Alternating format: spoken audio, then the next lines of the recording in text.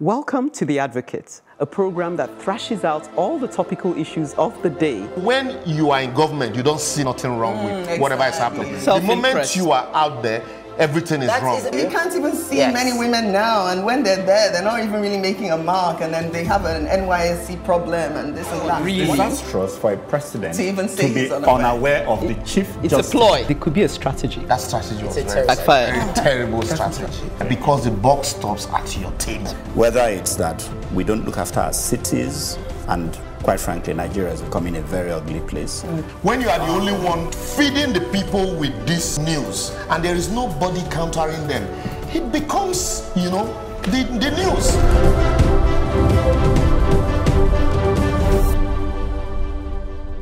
Welcome to The Advocate. We're fresh into the new year, and The Advocate is marking its one year anniversary with a special edition. And I think we should be popping champagne at this moment. Well, today's panel consists of a fresh crop, albeit seasoned advocates in their different areas of interest. Segun, also known as Segalink, popular or even notorious for his End SARS movement, will be tackling a matter after his heart the issue of creating safe spaces for our youth. Nafisa, convener of Girls Just Want to Run, will be exploring reasons why girls don't want to run. By that I mean run for political office. You'll agree with me that this matter gets more and more imperative with each passing year. Bright, founder of iCreate, is speaking for the youth. No surprises there. Essentially, he will be giving voice to the voiceless youth and enlightening us as to consequences for all of us of their remaining silent. Abimbola, nicknamed the listener, will certainly be doing more than listening on this edition. She'll be reminding us to put first things first as she addresses the foundational matter of family. And I will be ensuring that woman matter becomes all of our matter as I table the essential matter of sanitary pads. Unexpected, you say?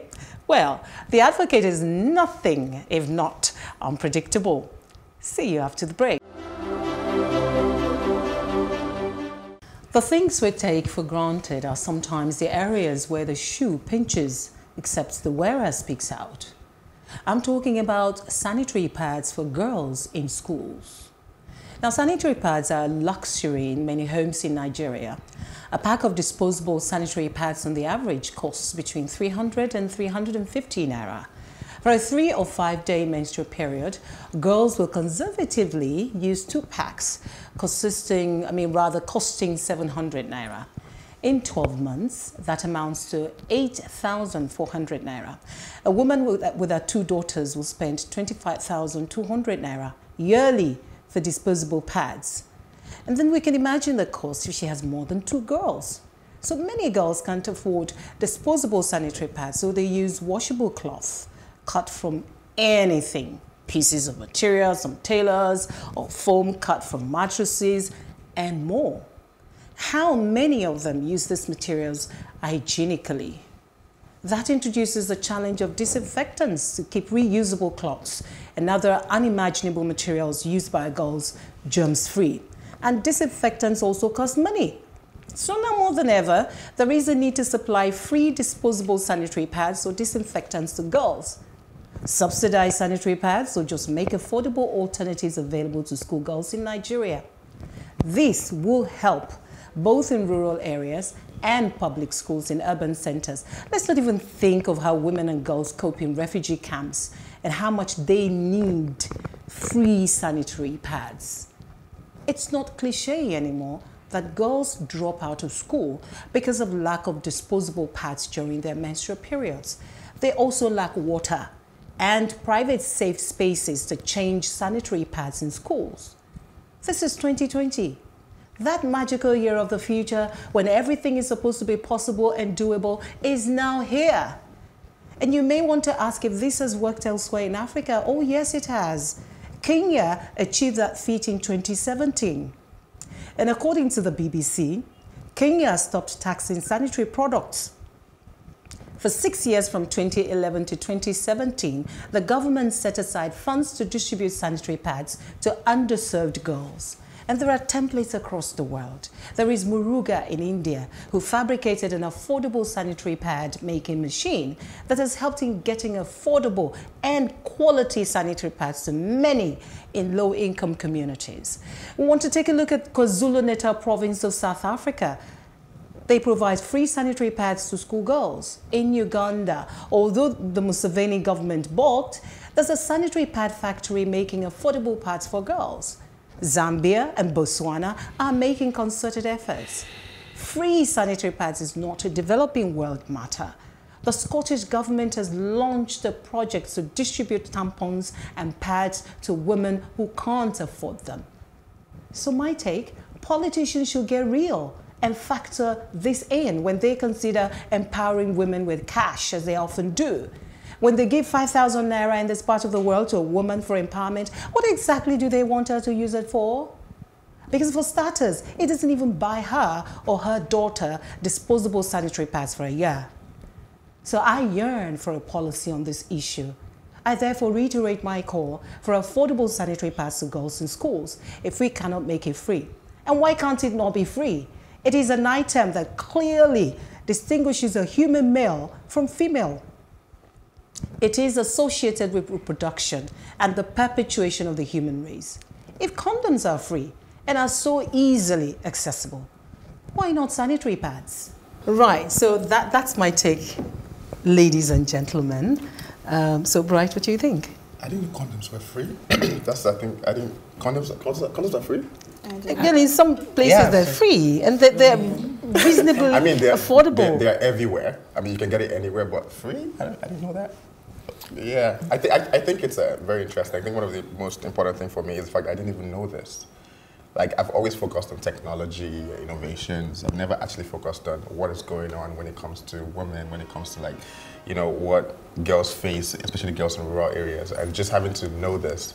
I feel like basically making a pledge right now and just saying, you know what? Aw, I'm gonna make a hundred thousand that pledge to, you know, I mean, maybe um, 50 girls next year. I don't know, but I, I think you know it's it's on us. Um, these problems you can't always wait for the government or I mean, policy is important for. I mean, what you said about one of the countries that set up a policy to take out taxes. That's that's a good That's one. Kenya. Yeah, that's a good one. So apart from the government playing their role, citizens also should play their role. So I think um, Thanks, it's, it's good that we're talking about this. Nafisa, what do you think? I mean, Well, I think it's a really important conversation because you will be shocked at how many young girls actually don't have access to sanitary pads. You'll be shocked at how many of them actually use tissue, even in urban Lagos. You know, it's a really serious issue. We don't even exactly understand what they might be going through because it's not just the hygiene, it's the emotional um, pathway that they have to go through. They are suddenly becoming a woman. They don't really understand what they are going through, and they might not want to tell people because other people might, you know, mock them. The And shame of exactly, it, the yes. shame. It's with ordinarily, it's not supposed to be a shameful event. So there is no like supportive network, and they don't really exactly know what to do. Some of them can't afford it. Even in Lagos we have people that still use tissue, what do you say about the rural areas where, you know, like I said, you can't afford it or it's not just available?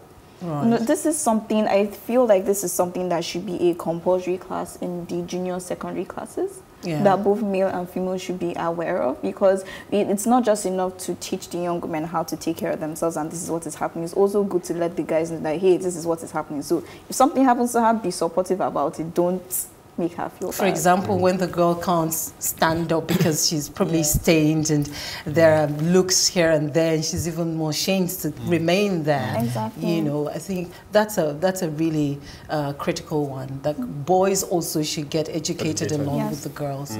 Yes. Well, I agree. I agree. I mean, it's amazing the things we take for granted, really. And uh, even though I'm female, you know, the way this has been brought about has given a different perspective of what is really important when you have females around you, whether you're connected biologically or non-biologically. And very interesting what Nafisa said about the boys being aware, because there's so many things that this young ladies get into that because of the let's say stigma of the fact that you're stained or you're using a sanitary towel, it becomes as if you're, uh, you're an adult, you're this and that. So that awareness for the male um, male gender also is very very important. And you know the aspect of also also looking at things that you know, are not physically seen outside because many of us females were more interested in what people say are wigs and makeup and everything. But the internal aspect is so important. And this advocacy is something that should spread beyond the physical. Very, very important. I actually think that um, because the conference season, the seminar and workshop season will soon start. We'll have the Women History Month, mm. we'll have the International Women's Day, and all the milestone milestone days uh, in the new year. I think we'll do better as women when we organize things like this and make the kind of pledge that Bright just made. Mm. You know, to critically, realistically intervene yeah. and advocate for some of the things we just give thoughts and we just say. Mm. So men, for starters, will start taking us, you know, more seriously, mm -hmm. and then we'll begin to make measured progress about some of the things we've been advocating for for years. You know, that's what I feel. Yeah, I, I think you're, you're spot on there, especially with the um, revealing advocacy that you just you know shown us here. And I, I think that I'm seeing from different perspectives here, as a father, as a business owner, as an advocate as well, that this, the policy angle of this must be done in such a way that every single person, whether you're male or female, begin to look at how this affects you. Whether you're, you're, you're a male or female, in fact, if you're a male, you're connected to at least three women in your life, your mother, your sister, your wife, your girlfriends, and all for those who have many. When you're talking about if uh, case of condom being free or not, I was just saying I have to phone a friend because I'm not really in that department, you know, but it's one of those things that we need to be very concerned about this. How how exactly, given the situation of the country, the economic situation now, mm -hmm. how our women and ladies around us faring? Exactly. So where do we come in? We need to begin to take this to everyone's doorstep mm -hmm. and begin to make this advocacy our responsibility. Because until we take responsibility and bring these issues to the doorstep of each and every, we don't begin, it won't drive policy because people don't really do what we expect but that which we inspect. And until we make it a policy issue and hold our leaders to account to ensure that they come through for our children, for generations to come, and also for the people that we have in our society today who are connected to us, then it won't be a reality. And we just don't want to talk about this because women are the mother, mothers of our nation and we need right. to take care of them. Many things we do as far, okay, you provide rice, you provide this, you provide that these are things that also we can also um, make essential products, yes. essential things that yes. we provide. I just remembered now uh, when I was in primary school back then, they used to give girls these things for free because I didn't know what it was. I was like, "What's that? Can I have one of it?" You know, so so I think it should be free for, especially for. I think um, we can we can tax the um, companies as one of their CSR. Um, exactly what I want to say. To yeah. get that available and to make sure that that's available, especially for, for rural communities. Um, we have to wrap it up there. But who says what concerns one does not concern all? After the break, Segun raises awareness about a matter that should definitely concern us all. And that's before the chickens come home to roost.